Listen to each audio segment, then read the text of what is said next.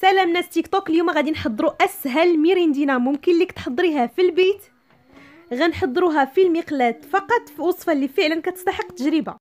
هنا في إناء سكب جوج بيضات كيس من الفانيليا ثلاثة معالق من السكر الخشن نطرب العناصر جيدا وبطبيعة الحال ضفت رشة من الملح. هنايا ضفت كأس من الحليب مع ملعقة صغيرة من العسل وكأس من الدقيق الأبيض وكيس من خميرة الحلويات. خلط الكل وسكبت الكل في القنينة. فاللي بغات الوصفة بالتفصيل دخل عندي القناة على اليوتيوب قناة أنتينيت. صافي نستمر بنفس الطريقة على هذا الشكل نبدأ نطيب آه لكيك ديالي على هذا الشكل. فصراحة طريقة سهلة والأهم أنها كتعطينا نتيجة رائعة.